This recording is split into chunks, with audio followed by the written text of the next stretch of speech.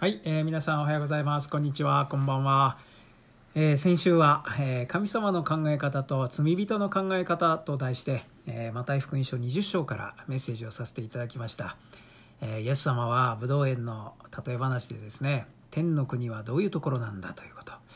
え神様の考え方は、え罪人の考え方とは違うんだよということを教えてくださったわけですね。まあ例え話はとても簡単なお話でしたけれども私たちの社会常識ではちょっと納得できないようなお話でしたよね。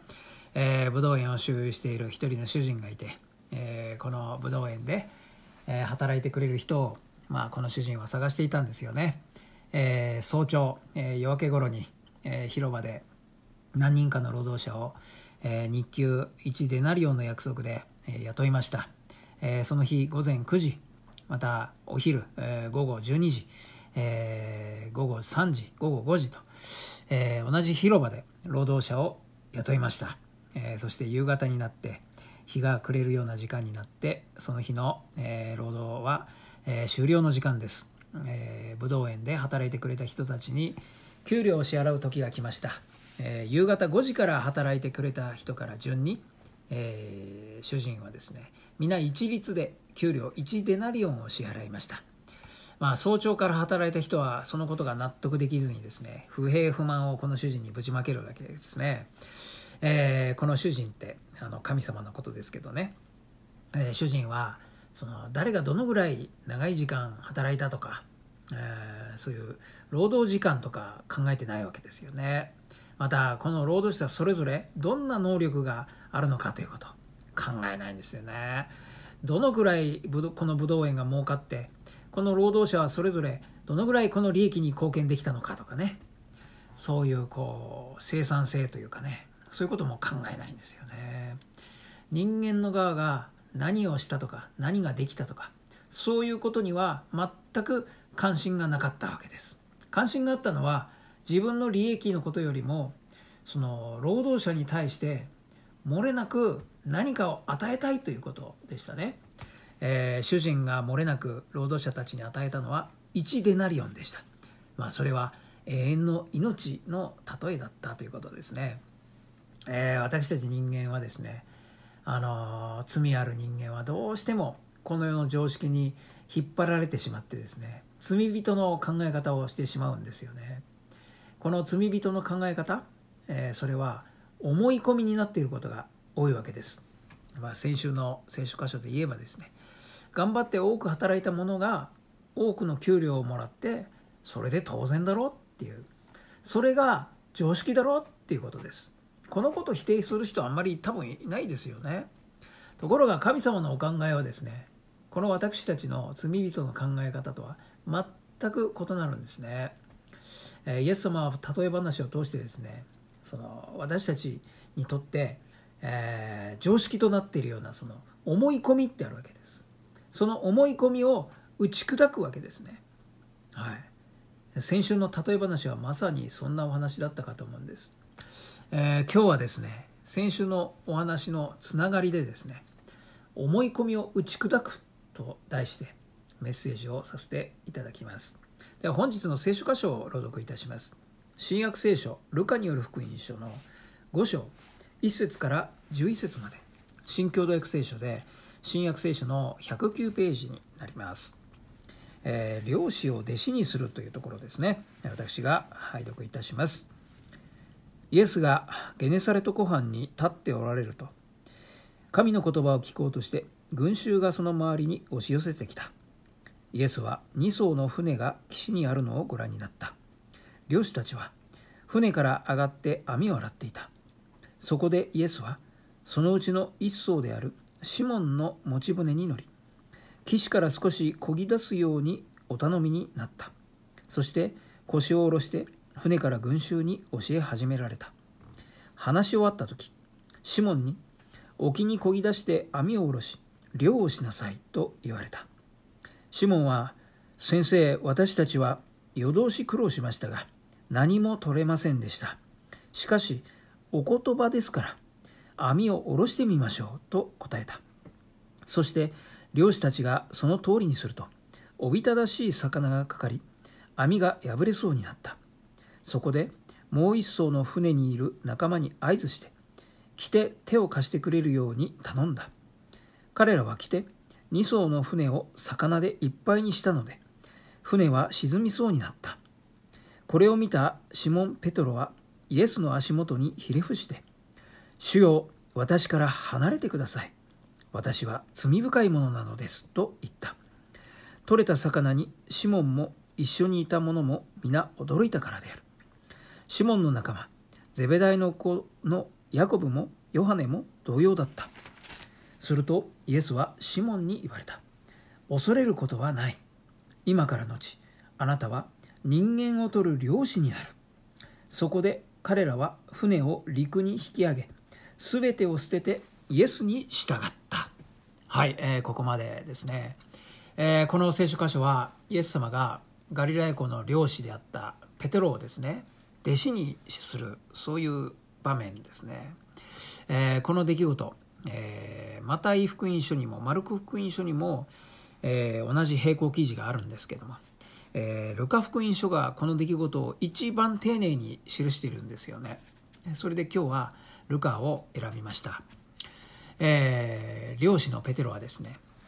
えー、夜中に魚を取るために、えー、ゲネサレト湖、まあ、別名ガリラヤ湖って言いますけどねこの湖に船を出して沖に出ていたんですよね。で夜通し、えー、魚を取っていたんだけれども全く魚は取れなかったわけですね。で苦労したのに丸坊主で、えー、結局岸に帰ってきちゃったと。で漁の後片付けをしていたんですよね。多分ねがっかりしながら後片付けしてたんでしょうね。そこにイエス様が来られてペテロの船にひょいっと飛び乗ってですね船を出して、えー、その岸から少し離れたところまで行ってくれないかとあまあペテロに頼むわけですよね。どうしてそんなことを頼まれたか。うん多くの群衆が神の言葉を聞きたいとあのイエス様のところに押しかけてきていたってなんか書いてますよね。だからあ群衆の安全すごい多くの人がいたのかもしれないですよね。そういうことを考えられて、えー、なのか。船に乗って湖の方から話した方が、えー、話しやすいからなのか。まあ何かイエス様のお考えがあってまあそういうスタイルで、えー、神の国のことを神の言葉を教えようとイエス様は思われたわけですよね。えー、そして群衆に一通り、えー、話し終わった時にですね、えー、ペテロにその沖に漕ぎ出して網を下ろして漁しなさいってそう言うんですよイエス様が。でペテロはですね漁師のプロですけどねえー、一晩、えー、頑張っていたけど魚取ることができなかったんですよね。それなのに何を今更と。こっちはプロの漁師だぞってことですよね、えー、これから沖に沖に出たって魚取れるわけないじゃないのっていうね、えペテロは多分心の中でそんなことを思っていたんじゃないでしょうかね、えプロの漁師として。まあある意味これも思い込みということなのかもしれませんね。えー、多くの群衆が話を聞きたいと。まあこのイエスという人のもとにすごい大勢の人たちが集まって話を聞いてるわけですよね。だからペテロはねその様子を見ていてまあこのイエスという人は多分偉い先生なんだろうなと。その先生からの頼みなんだから。まあしょうがないからやってみるか。まあイエス様の命じられる通りに、えー、ペテロは船を出してですねえー、網を下ろすわけですよね。そしたら、えー、網が破れそうなぐらいもう船が沈みそうなぐらい多くの魚が取れたと。まあそういうびっくりする、えー、奇跡のような出来事があったんだと。まあプロの漁師としてのペテロの思い込みはですねそのイエス様の御業によって、まあ、打ち砕かれたわけですね、えー、思い込みが打ち砕かれると、えー、今日のタイトルですよね。まあ現代に生きる私たちはですねこの物語を読むとですねこれこそイエス様の奇跡の御業だってまあそう思いますよね、えー、まさに印不思議奇跡ということですよね。私たち人間の常識ではとても理解できないような神様のその奇跡というものがあるんだということね。まあこういうとこ見ると思いますよね。その熱い信仰をお持ちの方はですねこういう聖書箇所を読んでねこれと同じような奇跡の技を今でもすることができるんだと。まあそう信じているわけです。その奇跡を起こすためには一体何をすればいいのか。まあそういうことがテーマになってですねこの聖書箇所は、えー、キリスト教会の牧師たちが、まあ、数多くのメッセージをしてきたんだと思います。まあ実際私もクリスチャンになって四安世紀になりますけどね、えー、この聖書箇所から、まあ、そういう、えー、奇跡を奨励するようなメッセージ、まあ、何度か今まで聞いてきてますね、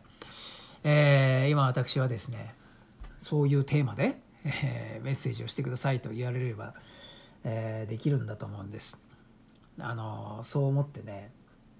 ちょっとあの作ってみたんですよね。短いメッセージ。ちょっと原稿書いてみてね。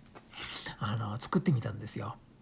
今日あの今これからちょっと読んでみますんで。皆さん私のショートメッセージ聞いてもらえます？短いやつでね、え、いきますよ、えー、今日の聖書箇所は神様が奇跡があるということを私たち人間に教えておられるところです、えー、私たちは、えこの世の常識に、えー、われて、え私たちの心は神様の奇跡を起こすことを邪魔するのです、えー、ペテロはイエス様から、えー、沖へ船を出して、えー、漁をしなさいと、えー、命じられましたがお言葉ですから網を下ろしてみましょうとペテロはイエス様の命令に従順に従いました。私たちもこの神の言葉に対する従順さが必要です。私たちはこれまで社会で生きてきた中で培われてきた常識というものがあります。常識は私たちの心に思い込みとなって深く刻まれて神の言葉に従うことを邪魔するようになります、えー、それでは神の奇跡を神の祝福を受けることができなくなります。自分の思い込みを全て捨てて教会で牧師を通して語られる神の言葉に従わなければなりません。ペテロはプロの漁師として自分の常識を捨てました。そして神の言葉に従いました。彼のその立派な従順な態度の結果何が起こりましたか？奇跡が起こったのです。神の言葉に従うことが奇跡を起こすために必要なことです。それが祝福を受けるための原則です。あなたは今神の言葉に従っていますか？神の言葉に対してかたくなになっていませんか？悔い改めないといけません。悔い改めないとあなたは神の祝福を受けられません。神の奇跡はあなたに起こりません。あなたはそのような態度でいると神の呪いを受けることになります。あなたの心の中に神の言葉に対する拒みがありませんか？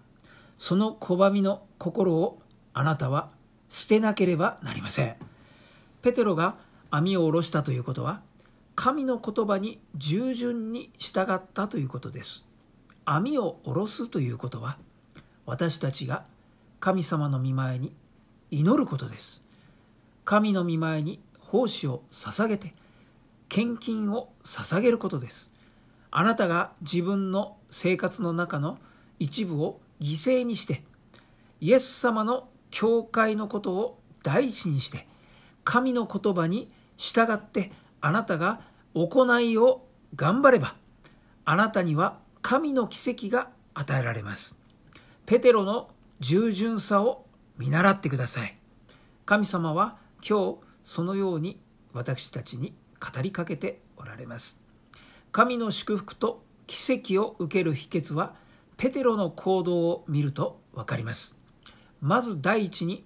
自分の働きを一度やめることです。そして第二に神の言葉を聞くのです。そして第三に神の言葉の通りそれに従って行動するのです。これが神の奇跡を受ける秘訣です。神様は皆さんをもっと祝福したいと願っております。もしあなたに今何か問題があってそれは病気や人間関係の悩みやお金の問題であったり何か問題があって悩んでいるのであればそれはあなたが神の言葉に対して拒んでいる証拠です。それは罪です。罪をそのままにしていては神の祝福は受けられません。問題は神の祝福を受けられなくなっている。あなたの側にあるのです。今日この御言葉から神様は私たちにペテロのように神の言葉に従順に従いなさいと招いておられます。それではお祈りをいたします。はい。えー、こんなショートメッセージ作ってみたんですけどね。ちょっとどうですかね、えー、今日ここでおしまいにしましょうかね。いやいやそういうわけにはいかないんですよ。まあこの私の作った、えー、ショートメッセージね「えー、印不思議奇跡」に重きを置くような教会ではですね、えー、よくありがちなメッセージなんだと思うんですけどね、えー、私のこの今お話したメッセージはですねこれあの今日の聖書箇所で言うとね1節から7節まで、うん、そこにフォーカスを当ててるんですよね。そうそこまでなんですよ。7節までなんです最初からね。人生の中で何かその苦しい問題があるじゃないですか。えー、その原因は何かってね。それを解決する方法は何かってね。その救われるためには問題が解決するためにはどうすればいいのか。ってどうすればねこの奇跡が起きて私はあの救われるのか。って、えー、祝福を受けるにはね何をすればいいのか、うん、まああのなんていうかな苦しい時の神頼みって言いますけどね。もう問題に苦しんでいるからもう神様におすがりするしかないのだと。まあそういうふうになっていくわけですよね。苦しいとね。そして私を救ってくださいと。まあその宗教を信じますから一生懸命宗教を頑張りますから助けてくださいってなっていくわけですよね。で今日の聖書箇所はねそういう視点でまあ読むこともできるかもしれないけれどもまあそれはそれで悪くないのかもしれないと思うんですけどね、うん、まあでも自分で話していて何なんですけどねこの私のショートメッセージえー、新興宗教のメッセージとあまり変わりないなっていうことを私自分で思うんですよね。もう新興宗教の典型的な教義のようになっている。まあもちろんですねキリスト教の信仰において神様に奇跡をこう与えてくださいってねそういうことを求めていいんですよそのことを私全然否定しないですよ。求めていいんですよ。イエス様はですねあの主の祈りでね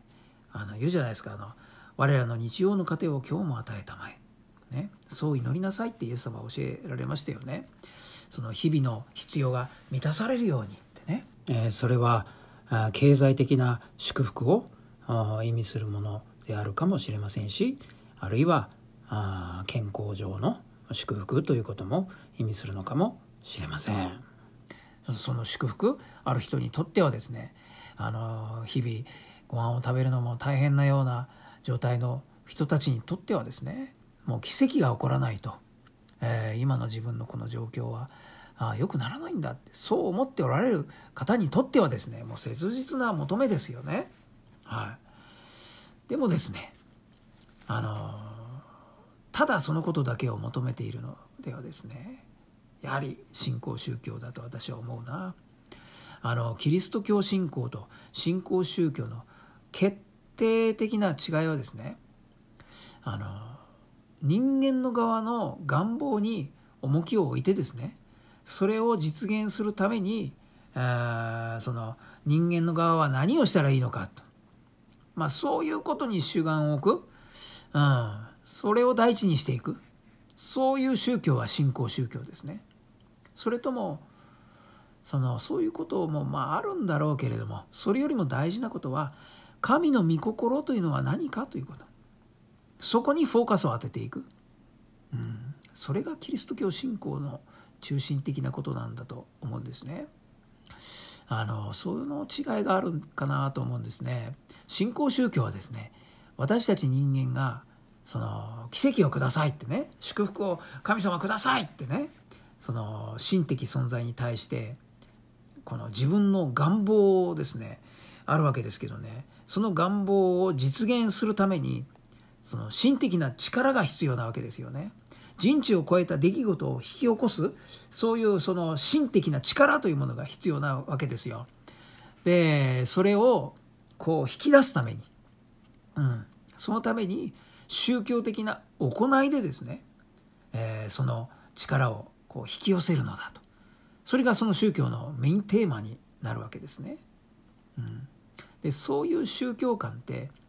あの私たち日本のね古くからのこの歴史その文化の中にね根強くあるんだと思うんですね。私たち日本人の先祖たちはですねずっと大昔からその太陽に向かって拝んで山に向かってあるいは海に向かって拝んでね手を合わせてお願いをしてきたわけです、うん、それが神様だって。いろんなとこに神を作るわけですね。そして五穀豊穣だ。無病息災だって。そう祈ってきたわけですよね。そういう宗教文化って私たちの中にもあるんですよ。根強くあるんです。そういうところにキリスト教が入ってきたんです。そしてその文化がミックスされるようになるとねあの印不思議奇跡っていうことばかりをですねその聖書の中に見つけ出していくようになったんですだからその奇跡を実現するためには何をすればよいのかその「how to」をですねこの聖書から読み込んでそれを教える、うん、それを第一にするような宗教が編み出されていくようになったんですね。あの私はあの印不思議奇跡って否定しないですよ。あのイエス様に奇跡求めて良いんだと思ってます。まあ実際に私そういうことこれまで求めてきたしまあそれまこれまでに、えー、不思議なこともいくつか経験しています。でもねその時のことを振り返ってみるとですね私何か宗教的に一生懸命になってたからその時与えられた奇跡、うん、不思議な出来事ではないんですよね。私がね奇跡を経験したような時はね私ね全く宗教的に頑張れなかった時。もうね信仰を失いかけていたような時。あの祈りの手も上がらないような時ですよ、うん、祈れませんって。言葉も出ない。あのそういう時にね私ね神様がね助けてくださってねあの奇跡の体験をね神様与えてくださったんですよね。本当あの恵みだなっていうか本当に神様からの一方的な本当に恵みだなっていうことを今振り返ると思うんですよね。あの印不思議奇跡ってとても魅力的じゃないですか。私たち人間はねそこにどうしても目を奪われがちなんだけれども私今でもそうですよ。そうなんだけれどもね。でも今日の聖書箇所もねあの読むとねおびただしい魚が取れたっていう。このすごい奇跡。そこに目が奪われるんですよ。で聖書にそう書いてるからね。今もそうなるんだと。それが聖書的だと、ね、聖書的。この言葉持ち出してね、えー、何か印不思議奇跡を求めるためのなんか根拠のようにね。この聖書箇所を使うんだけれども。ああそれね神様を何か召使いというか魔法使いというかねそういうふうに思って神様を利用するっていうかね何か罪ある人間のですね思い込み、うん、そういうこともなんか考えちゃうんですよね。あの神様に求めて一生懸命何か宗教を頑張ったらね、うん、神様は奇跡を与えてくれるとで問題に苦しむあなたをあ助けて救い出してくれるとねもし救われてないんだったら助けてくれないんであったら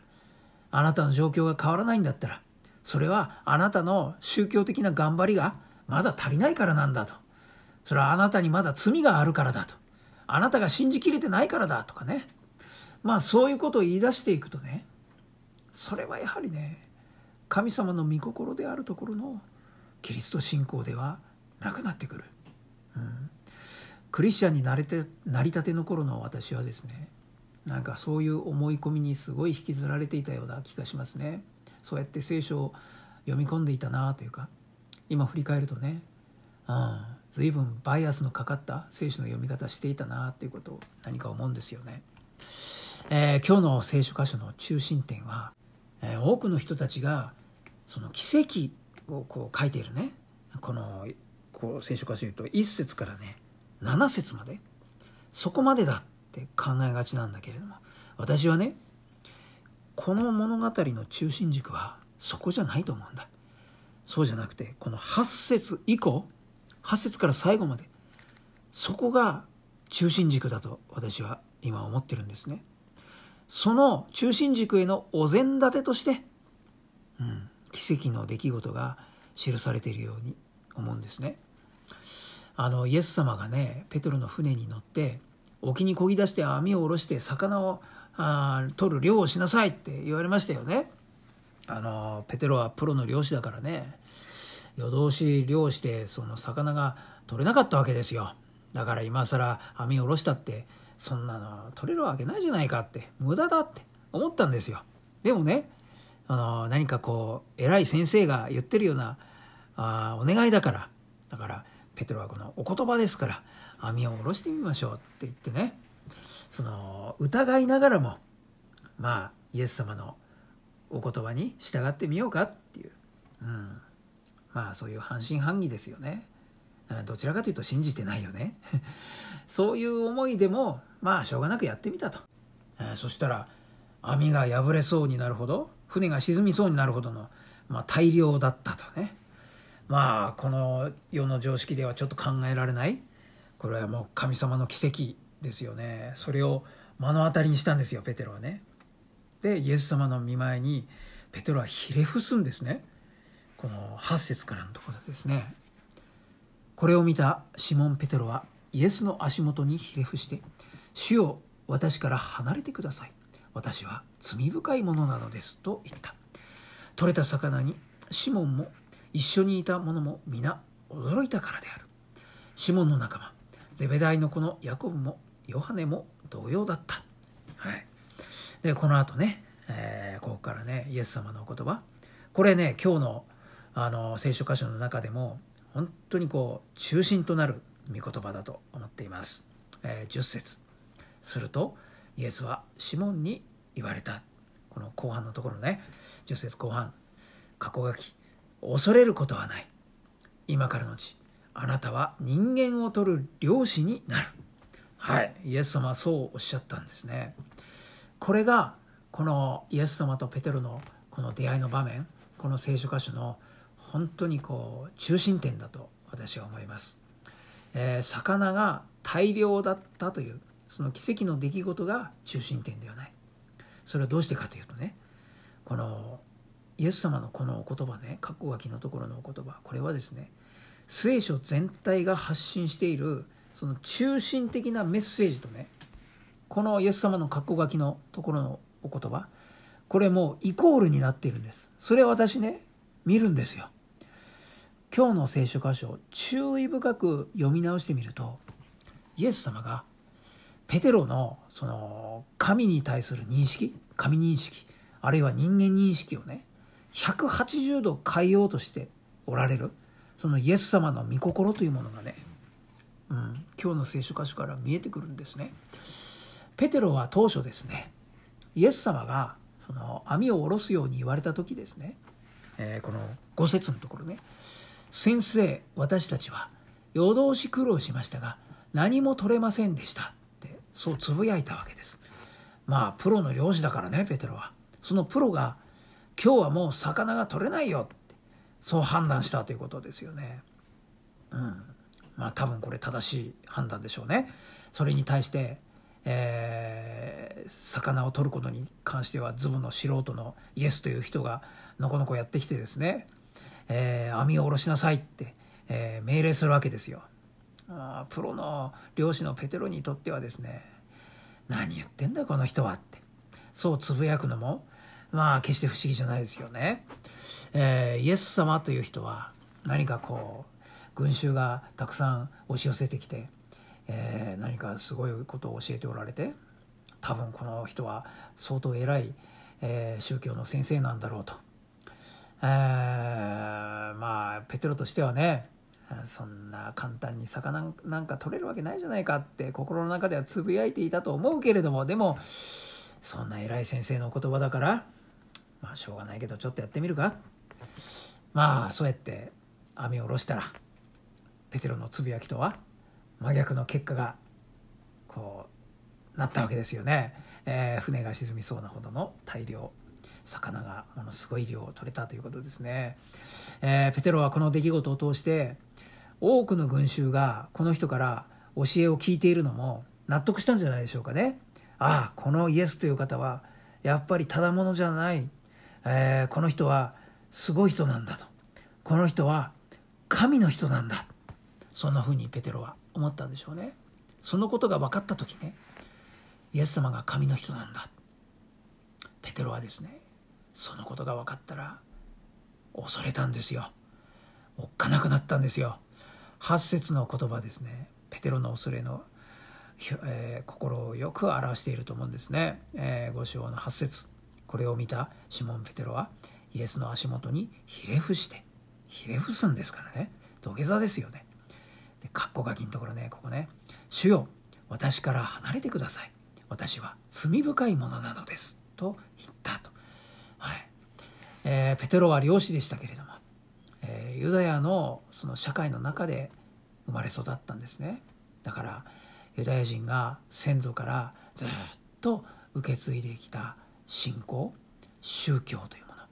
神様に対する認識というものをね、うん。えー、ペテロは幼い頃から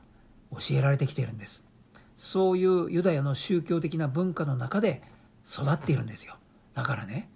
分かるんですよ。あのこの人が神の人なんだっていうことを彼は思ったんですね。そして自分はね神様のおっしゃることに背いていたっていうことが彼気が付いたんですよ自分のことが。それはどれほど重たい罪なのかっていうこと、まあ、ユダヤの宗教文化の中で育ったペテロはですねそのことを分かっているわけです。だから恐ろしくなったんです。多分ねペテロはこの場でね自分は死ぬんじゃないかって思ったのかもしれないですよ。それほど彼は恐れたんだと思います。だからペテロは土下座をしました。そして「主よ私から離れてください。私は罪深いものなのです」ってそう言ったんですね。あペテロはこの奇跡の出来事を通してですね、えー、神様のお言葉を信じなかった。その自分のかたくなな心、えー、神を信じなかった。罪、うん、その自分の罪、えー、その時彼は気が付いたんですね、え、この神の人が目の前にいるじゃないか。それはねペテロにとって非常に恐ろしいことだったんです。だから私から離れてください。もうその場にいることが耐えられない。まあそういう辛さを感じたんだと思います。ねペテロのね「主よ。私から離れてください。私は罪深いものなのです」っていうこの聖書箇所のこの言葉ね。まあペテロの心の中にあるあの本当の心ね、うん、それがよく表されている言葉だと思うんですね。まあイエス様にですね私から離れてくださいってお願いしてますけどもね。あ彼は自分の罪を告白してるんですけども。でもね彼はね本当に自分から離れてってそういう思いで言っただとは思わないんですよね。うん、あの私から離れてくださいと言いつつねまあ、この言葉の意味はね、えー、罪ある私をどうか憐れんでください許してくださいっていうそういう思いであったと思うんですよね。もし本気で離れてほしいんだったらあこの後ペテロはですねイエス様についていくことはしませんよね。えー、イエス様はですねそういうペテロの心ね、えー、罪を認めて許してくださいっていう彼のその思い、うん、本心 そこを見抜かれてですね。でイエス様おっしゃるんですよね、えー、この10節のね後半のところね、えー、するとイエスはシモンに言われたこの格好書きのところね。恐れることはない。今からのちあなたは人間を取る漁師になる。はい、えー、ペテロはですねイエス様を神の人とは思わずにですね神の言葉を信じなかった。その自分の罪のあることが彼は分かったわけですね。その時に自分は神様から裁かれてももうしょうがないんだって。まあそういうふうに思ったんです。それはね神は恐ろしいお方だっていう。当時の宗教文化の中でペテロは育っているわけです。だから罪を犯した者は裁かれるっていうね。これ当時のユダヤ社会の常識なんです。これ当時の人々の思い込みですよ。うん。それは先週のメッセージのつながりで言えばねこの思い込みというのは罪人の考え方であります。ところがね神様の考え方は全く違ったんですよ。イエス様はねおっしゃるんですよ。ペテロにね。ペテロよ神様はあなたにとって決して恐ろしいそのようなお方ではないんだよっていうことね。ペテロよ。神様はあなたを裁くようなお方ではないんだよ。あなたを救うそういうお方なんだよ。だからイエス様はねペテロに対してこの10節の括弧書きのところでね恐れることはないっていうわけです。まあ新海訳ではですねここはね怖がらなくてよいって訳していますね。いい訳だと思うね。安心していいんだよっていう意味なんだと思うんですね。英語の主要な訳語ではですね Don't be afraid ですね。まあこれギリシャ語ではですね May fobu っていう言葉が使われていてですねまあそういう意味なんですね、えー、もう怖がらなくていいよっていうイエス様からのお言葉です、えー、ペテロにとってはですねこのイエス様のお言葉全く予想していなかった言葉だったんですよ。ペテロはねイエス様から叱られると思ってたわけです。それが当時のユダヤ社会の神認識ですよ、うん、ペテロはそういう常識にどっぷり使っていたわけです。立派な宗教的な行いで神に良しとされようとする。宗教文化があペテロの生まれたこの時のユダヤの社会では支配的だったわけですね。それが常識だから。神の言葉を疑うというようなことは許されません、うん、神の言葉を疑うようなものは罰せられます。それがこの当時の宗教の常識です。当時のご立派な宗教家たちは罪がある者がいたらすぐに責め立てます。非常に強く責め立てます。そして叱ってですね怒ってですね裁くんですよ。でもイエス様はペテロに対してねそんなこと一切しないですよね。何も責めてないじゃないですか。何も起こらないし何も裁か許すんですよ。はい。イエス様は許すんです。さらにイエス様はねペテロにね君には将来があるよということを励まして言うんですよね。今からのちあなたは人間を取る漁師になるってそうおっしゃるんですよ。このね人間を取る漁師になるこれ有名な言葉ですよね。これはまあ私原点チェックしましたけどね、えー、ゾグローンっていう言葉使われてましたね。これね生け捕りっていう意味の言葉なんです。ここね実は漁師って書いてないんですよね。これ翻訳した方がですねそのように考えられたということなんですけどね。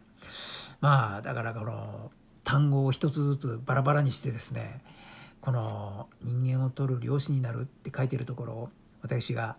あ原文からガチガチの直訳で単語バラバラにして訳すとですねこうなります。聞いてください。あなたは人々を生け取るようになるだろう。そんな感じになるんだと思います。生け捕りですよこれ。このイエス様が言われたゾーグローンっていうねこの言葉ねとても霊的な御言葉だと私思いますね、えー、ペテロはですね魚を取るプロの漁師だったんですけれども漁師はですね生け捕りにはしないですよね。あの魚取ったらですねあの水揚げしたら陸に揚げたら魚死んじゃうじゃないですか。あの鮮度がだんだん落ちていくわけですよね、えー、しかしですね人間を取る漁師は生きたままで捕らえるんですよ。はい。人間を取る漁師は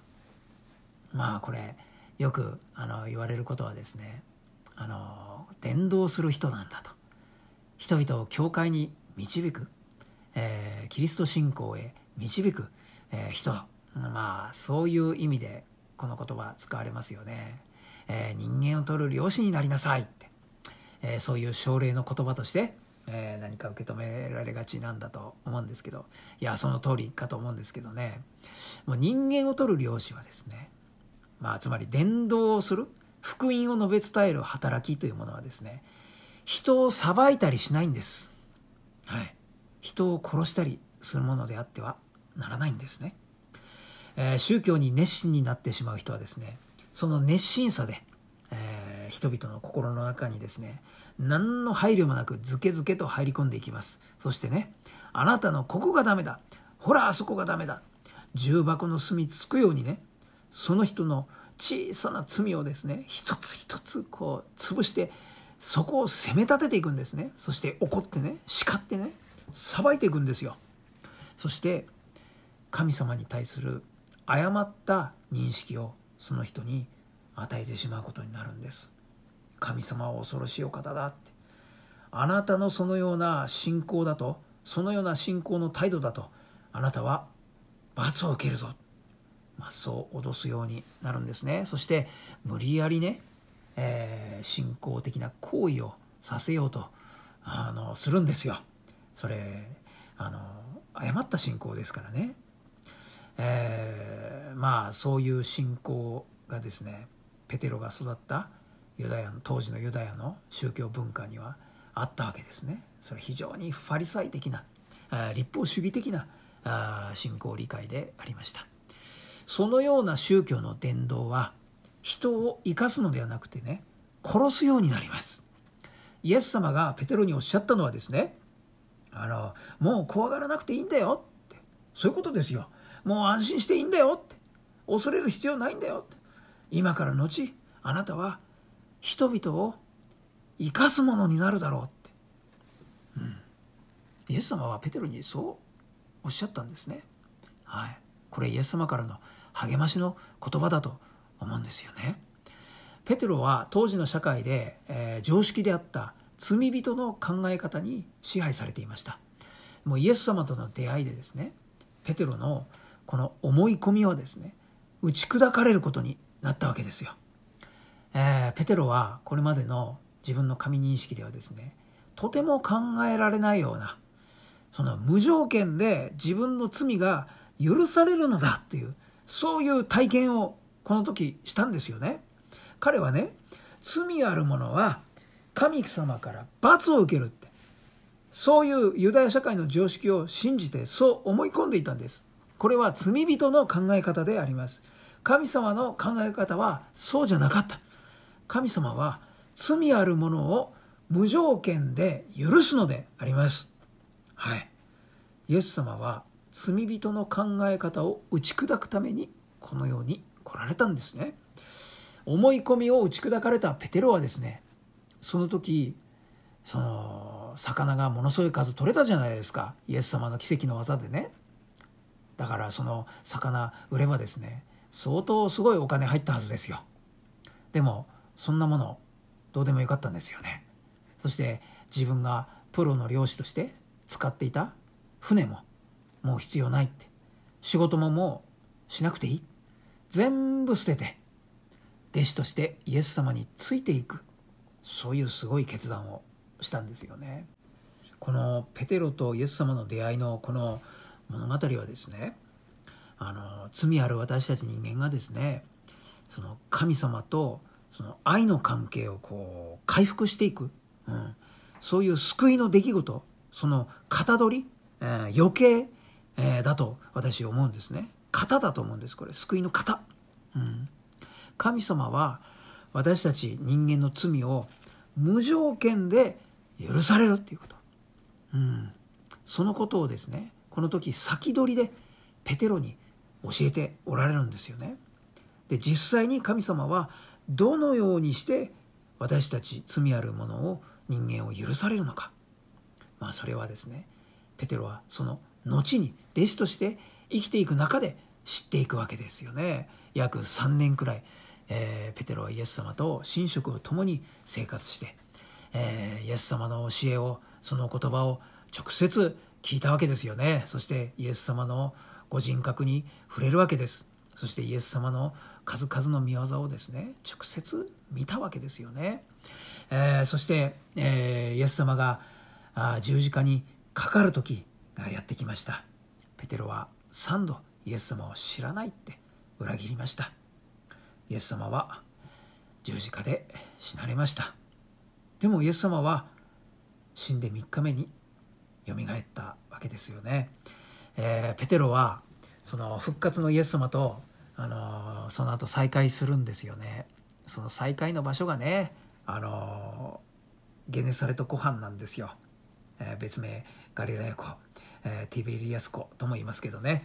えあなたは人間を取る漁師になるってかつてイエス様に、え言われたその場所で、え再びイエス様と会ったんですね。復活のイエス様です。そしてねあの魚の奇跡の出来事がですね再び起こるんですよねこの時にね。あのヨハネの福音書の21章にねその出来事が書かれてますよね。ヨハネのね、え、21章、え、6節にねこう書いてますよ。イエスは言われた。船の右側に網を打ちなさい。そうすれば取れるはずだ。そこで網を打ってみると魚があまり多くてもはや網を引き上げることができなかった。はい。えー、ペテロはですねイエス様が十字架にかかる時、えー、呪いの言葉吐き捨ててそんなもの知らないってねイエス様を裏切った人ですよ。でも復活のイエス様がですねペテロのところに来たんです。そしてガリラヤ湖であの思い出のガリラヤ湖で再会するんです。そしてこの船の魚の出来事奇跡の出来事がもう一度起こるわけですよね。その時イエス様はねペテロに対してねあの一切こう責め立てたりしなかったわけですよね、えー、お前は私を裏切ったななんて。何にも一切そんなこと言わないわけですね何も起こらず叱らずまあ逆にね復活のイエス様がねペテロにねあの3度ですよ3度私を愛してくれないかってイエス様はペテロにお願いするんですよね。まあ、じーんとしますよね、あの場面ね。あの、ヨハネの福音書の21章に記されていますからね。後で皆さんそれぞれご覧いただければと思います。このイエス様の十字架と復活を直接ペテロは見聞きしたわけです。そしてその後イエス様は天に帰られて、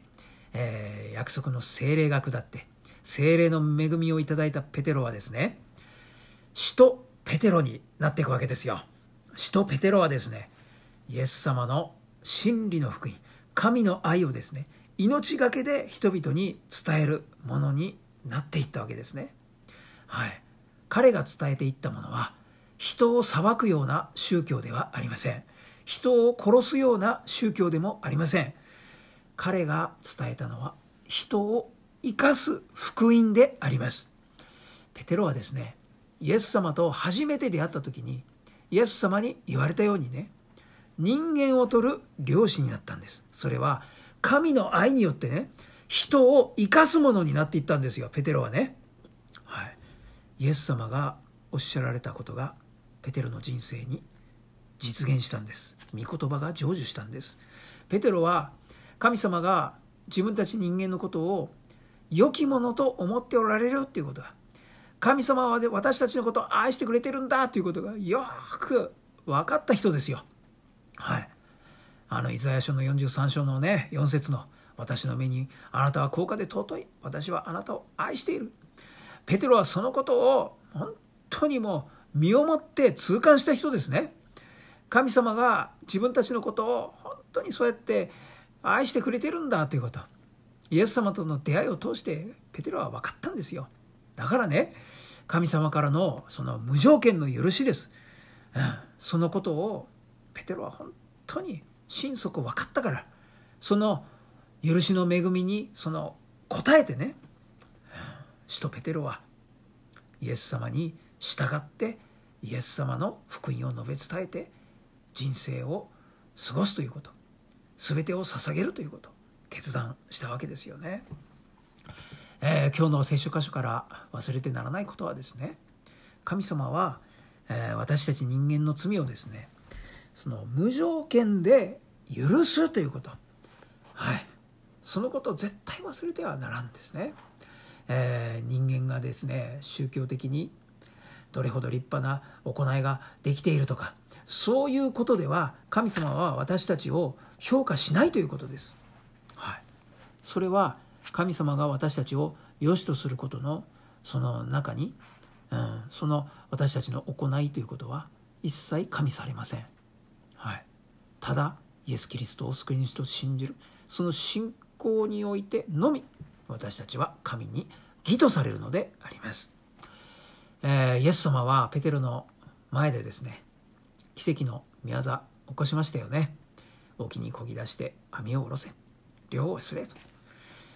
このイエス様の命令にペテロは渋々と従いました。渋々ですよねこの時。一応ね従ったんだけれどこの時のペテロは何も立派じゃないですよね。うん。だってイエス様の言葉本当に信じてないじゃないですかこの時彼はね。でも「はいはい先生何か偉い先生の言葉だから、まあ、やってみましょうか」ってそういう感じで、えー、とりあえず網を下ろしてみただけですよね。でも結果、えー、船が沈みそうなくらいの大量で、えー、魚が多く取れたわけです。奇跡が起こりましたけれども。イエス様がこの奇跡を起こしたというのはですね単なる奇跡を起こして彼らをびっくりさせることではそういう意味ではないわけですよね。ペテロにですね神の御言葉を疑うということその罪があるということに自分に罪があるということに気が付かせるということですね一つそしてその罪はそういう罪は全部無条件で神は許してくれてるんだよっていうことそのことに気が付かせるためにイエス様はこの魚の奇跡の技を起こしたんではないでしょうかね。神様は裁くお方ではなく救うお方なんだということを教えるため奇跡の技を成したんであります。まあ今日ですね印不思議奇跡そういうことを強調するようなキリスト教会が多くありますけれどもまあ奇跡を起こす How to をですね教えるために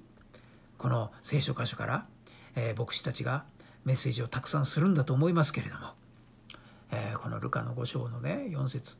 新海訳ではねあのこういうふうに書いてるんですよ。格好書きのところね新教大学聖書は沖に漕ぎ出して網を下ろし漁をしなさいってそう訳されてますけど新海訳はね深みに漕ぎ出して網を下ろして魚を取りなさい。まあそう書かれてるんですね。深みに漕ぎ出せ。信じられないかもしれないけど勇気を持ってその深いところにあなたが信仰を持って一歩踏み出してみなさい。そしてその深いところに行って良き行いをしてみなさい。そしたらあなたの身に奇跡が起こるって。まあそうメッセージするんだと思う。私そのことを否定するつもりはありません。しかしながらそれがこの聖書箇所の主題ではないと思う。ましてやねあの信仰を持って行いができないようなそういうあの信仰の弱い者は神は罰を与えるぞとかね懲らしめを与えるぞとか裁かれるぞとかねそういう誤ったこの信仰をですね神認識を人々に持たせてしまってはならんですね。そこを言っては絶対にならないですね。この聖書箇所の主題は神様の御目にあなたは良きものなんだということ。あなたはそのままのあなたで受け入れられてるんだということ。無条件であなたは許されてるんだということ。イエス様はもう怖がる必要はないんだと。安心していいんだよということ。を言ってくださっているんだということね、うん、この神様の愛がですねその救いの恵みがですねあなたには与えられてるんだよということ。そのことを述べ伝えているのがこの聖書箇所の主題であります。イエス様はおっしゃったんですよ。私の言葉を聞いてそれを守らない者がいても私はそのものを裁いたりしないよって。私は世を裁くためではなく救うために来たんだと。世を救うために来たぞと。イエス様がそうおっしゃったんですよ。神様の皆によってその奇跡を求めることね。うん。教会が信徒の皆さんに奇跡をねこう奨励する時はねイエス様のその救いの恵み、うん、完全な罪の許し真理の福音をまず第一のこととしてしっかりとこう述べ伝えてですねそれをしっかりと教えてですねそのことを踏まえた上でその上で奇跡を祈り求めるべきであるかと思います。キリスト教会に与えられている働きの第一のこと決して初歩的なことなどと言って軽んじてはならないのであります。イエス様の福音は私たち罪人のこの思い込みをですね打ち砕く力があります。イエス様の福音はですね人を裁くようなものではありません。人を生かすんですよ。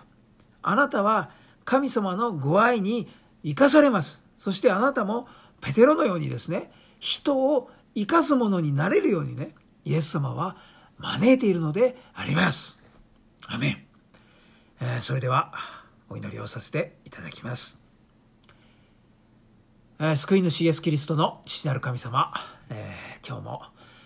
え、愛する皆さんと一緒に、え、神の御言葉霊の糧としてのあなたの命の言葉をいただいて礼拝のひととき与えられて、え、本当にありがとうございます、え、ペテロがイエス様と初めて、えー、ガリラヤ湖で出会った時に、えー、この物語を通して神様あなたが私たちに、えー、真理の福音とは何かということを、えー、教えてくださって感謝いたします。えー、イエス様あなたは数々の奇跡の御業を起こされましたそのことを私たちはあ聖書を通して、えー、たくさん知るところでありますが、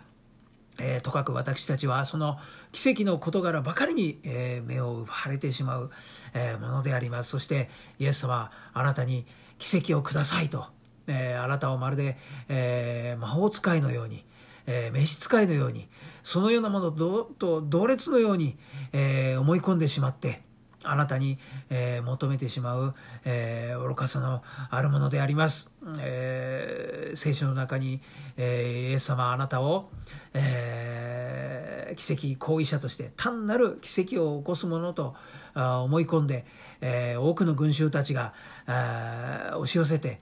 えー、あなたに求めました。イエス様あなたはそのようなものを決して快く思っておられなかったことを、え私たちは聖書を通して、え知っているところですがしかし、えイエス様は私たちはついついあなたに奇跡をくださいと、えそれができるかできないかがまるで私たちの信仰の、え第一のことのように、えそれが福音の中心の事柄のように、え何か錯覚してしまう。あ神様あそのようなあことをすぐに考えてしまうものであります、えー、どうかあイエス様このような私たちの思い込みをどうぞ打ち砕いてください、えー、イエス様ああなたが、えー、聖書からあ神の御言葉与えてくださる時に、えー、神様ああなたが私たちに伝えようとしておられることその中で最も大事なことは何なのかということを何を第一にすべきなのかということどうか主よあなたの御心にかなった形で私が私たちがしっかりと受け止めることができるようにどうぞ助けてください。えー、御霊なる神様どうか私たちを生かす福音へとどうか導いてくださいますよ。そして私たちも人間を取る漁師のごとくイエス様あなたの福音において、えー、他者を生かすものとしてどうかあなたに用いられる、え、そのような存在になれるようにどうか助け導いてください、え、今日の礼拝のひととき感謝いたします、えこの祈り愛する皆さんと心を合わせて尊き救い主イエス様のお名前によってお祈りいたします。アーメン。はい。えー、それではいつものように音声一時停止していただいて皆さんそれぞれ、えー、お祈りをお願いいたします。えー、イエス様が、あの、怖がら怖がらあもう怖がらなくていいんだよって、えー、言っていてくださいますからね、えー、どうか皆さんどうぞそのことを覚えてください。えー、御霊なる神様に、えー、お祈りをどうぞ導いていただいて、えー、祈りの言葉はね神様与えてくださいますからね。えー、お祈りがお済みになりましたら、またこの音声再生していただいて、えー、祝祷をお受けください。ではどうぞよろしくお願いいたします。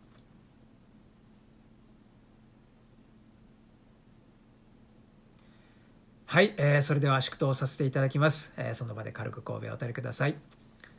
祝祷いたします。主があなたを祝福しあなたを守られるように主が御顔を向けてあなたを照らしあなたに恵みを与えられるように主が御顔をあなたに向けてあなたに平安を賜るように仰ぎ恋願わくは主イエスキリストの御恵みと父なる神様のご愛と聖霊なる神様の親しいお交わりとがこの教会の礼拝を今日ご一緒した皆様の上にそのご家族の上にも常しえに豊かにありますように。アーメン。はい、えー、今日もありがとうございました。えー、今日は思い込みを打ち砕くとあそういうタイトルでメッセージをさせていただきました。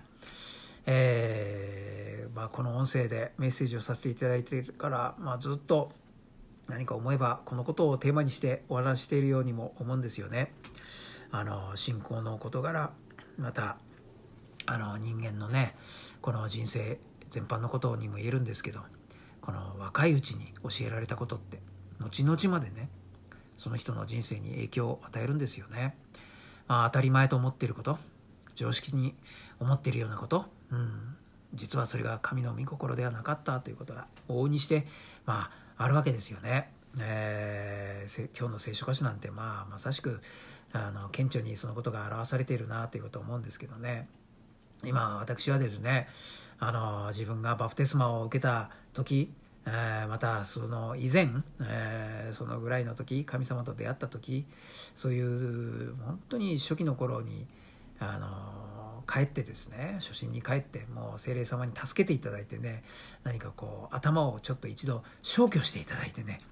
まっさらなところで今御言葉をくださいって今そう求めているんですよね。そしたら神様はね聖書からねもう今まではもう全然こう考えつかなかったようなその気づきをですね与えてくださっているんですよね。今日のところもそういうところなんですよね。いや聖書ってすごいなってイエス様の福音っていやすごいんだなってことを毎週あの毎週っていうか毎日ね思わされているところです、えー、これからもですねえー、この神様の恵みなんですよねこれ与えられてるのはね、えー、この恵みを皆さんにお分かちできればということを思っております。えー、ああ、今日は長くなりましたね。結構な時間、すいません。えー、時節柄皆様、あの、お忙しく過ごしておられるかと思いますけども、えー、三寒四温でですね、えー、いろいろこう、気候も、あの真冬になったり春っぽくなったり、えー、こういう寒暖差も激しいですけど皆さんどうぞ霊肉ともに守られますように、えー、お祈りしております、えー、また来週お会いできれば嬉しく思います、え今日もありがとうございました。あ失礼いたします。